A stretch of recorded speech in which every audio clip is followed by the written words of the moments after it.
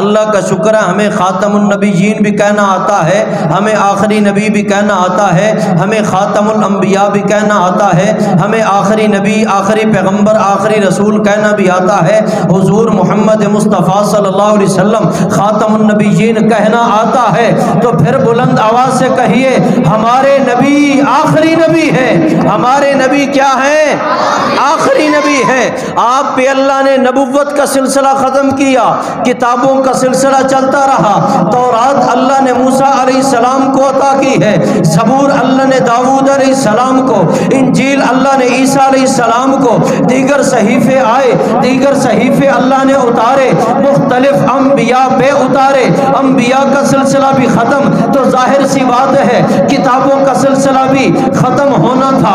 अल्लाह ने अपनी आखिरी नबी, हज़रत मोहम्मद मुस्तफ़ा सल्लल्लाहु अलैहि वसल्लम वसल्लम पर नबुवत का सिलसिला ख़त्म किया तो किताबों का सिलसिला भी ख़त्म किया, वही का सिलसिला भी ख़त्म किया।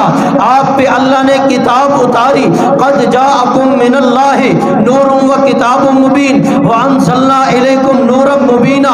अल्लाह फरमाते हैं, किताब अता की है, जो रोशन किताब है, जो मुनवर किताब है, जो रोशनी वाली किताब है, अंधेरे वाली नहीं है, बल्कि रोशन और मुनवर किताब है।